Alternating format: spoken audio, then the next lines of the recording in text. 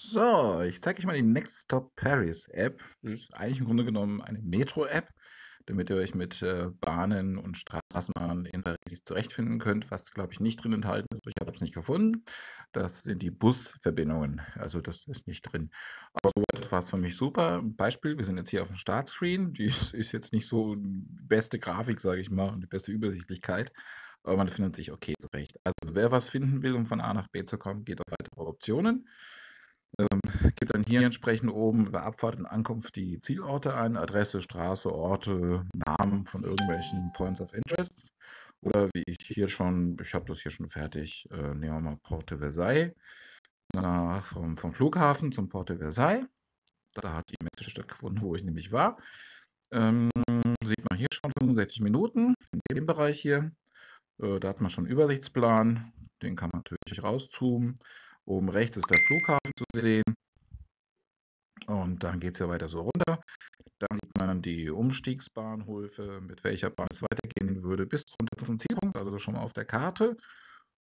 Und die Umstiegshinweise mit der M12, dann also bis Porte Versailles, dann Montparnasse, Bienvenue, aussteigen und dann weiter Saint-Michel und dort umsteigen zum Flughafen am Ende des Tages. Also genau, ich habe es ja umgekehrt, der Flughafen ist mein Zielpunkt und Porte Versailles war der Abfahrtsort. Ja, das war schon im Grunde genommen erstmal das Wichtigste. Da habe ich noch natürlich eine zweite Möglichkeit. Warte mal, finde ich das zum Beispiel, äh, nehmen wir das hier. Äh, das wollte ich noch zeigen. Es gibt dann unten beim Zielankunftsort auch natürlich noch eine Karte. Das heißt, ich steige aus der Metro hier im grünen Punkt aus und soll dann quasi rüberlaufen, dann bin ich an meinen eigentlichen Ankunftsort zu Fuß. So, das waren die Funktionen äh, mit der Routensuche.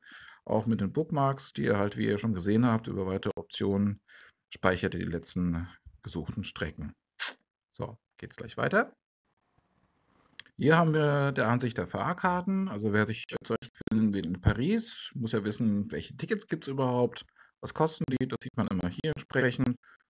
Zum normalen U-Bahn, Metrostationen, Trambahn und Buslinien. Dann, äh, wie komme ich äh, dann ein bisschen weiter, wenn ich Sehenswürdigkeiten sehen will, Freizeitpark Disneyland oder halt zum Flughafen, den Bus oder der Bahn, kostet 10,30 oder noch anderen Buslinien. Das ist also schon mal hier die Übersicht. Hier kriege ich nochmal eine genauere Beschreibung. Und äh, wer eine Tagespauschale sucht für Paris, kann angeben, auch Mensch, ich bin einen Tag da oder Zimmer zwei. Paris Zentrum, ja, Versailles will ich, ich will auch zum Flughafen wieder und kann die Auswahl bestätigen bekommt dann hier eine Gesamtübersicht, äh, wie, was, wo, in welchen Zonen von wann bis wann gilt.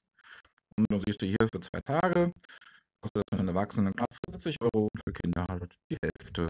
Ja, wo findest du die Pauschalfahrkarten? An den Verkaufsschaltern der Bahnhöfen oder der Stationen, der Metrostationen, netzsprachige Automaten mit Kreditkartenabrechnung oder eben entsprechend am Flughafen äh, Charles Gaulle äh, von mir aus Terminal 2e, hast du hier Gate 11, 7 Uhr 15 bis 21 Uhr. Und zu guter Letzt ein bisschen Sehenswürdigkeiten, die kann man suchen halt sich eine Audioguides reinziehen. Oh, ziehen wir uns mal den hier rein, Chateau. Schauen wir das mal an. Chateau de Vincennes, Endstation, alles aussteigen. Es wäre schade, sich diesen Ort entgehen zu lassen. Genau. So, also auch ein bisschen Audio gibt es auch. Natürlich kann man die Sprache auch verstellen. Es gibt in verschiedenen Sprachen, Französisch, Englisch, was Japanisch, Chinesisch, Brasilianisch, Russisch, Dänisch und Holländisch. Ja, Französisch sowieso. Äh, also auch schon mal mehrsprachig die ganze App. Im Großen und Ganzen äh, gibt es noch kleinere Sachen, wie auch Stadtpläne. Das sollte man vielleicht noch kurz zeigen. Äh, da haben wir den Metroplan von ganz Paris, auch wieder zoombar, Stadtplan von Paris, ja gut, das ist eigentlich die Google Maps Karte und den Fahrplan Nachtbus. Genau, wer mal lumpt, ein bisschen länger bleibt in den Zonen 1, 2 und 3, weiß dann halt, wie er mit dem Bus welchen von wo nach wo kommen kann. Ja, gut, man kann das auch anklicken, glaube ich, oder? Wie war das? Was kann man mal planen? Da kann man irgendwo hier drauf, wenn ich es nach treffen würde, und sich dorthin begeben. Und da hat er schon übernommen als Ankunftsort. Jetzt kann man oben noch irgendwas eingeben und dann ist man schon da.